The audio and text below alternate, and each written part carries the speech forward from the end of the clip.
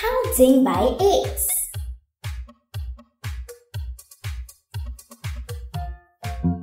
How many legs does a crab have? Eight. Let's count by eights.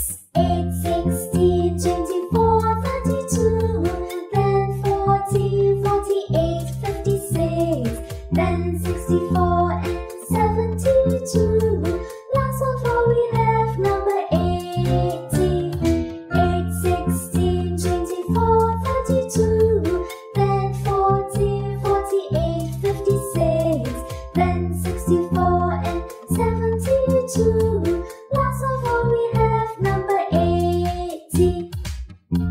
A spider has 8 legs. Count the legs by 8s. 8, 16, 24, 32, then 40, 48, 56, then 64 and 72.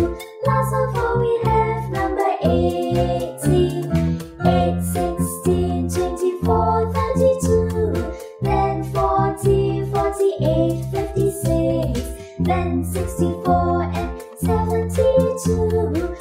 Of all we have, number 80. Excellent counting! Try counting on your own.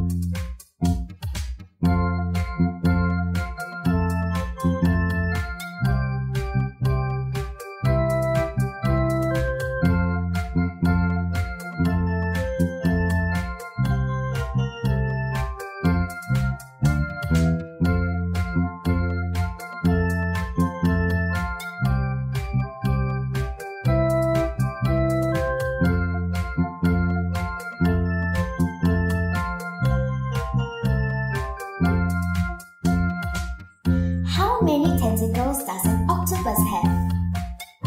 Count together. 8, 16, 24, 32. Then 40, 48, 56. Then 64 and 72. Last of all we have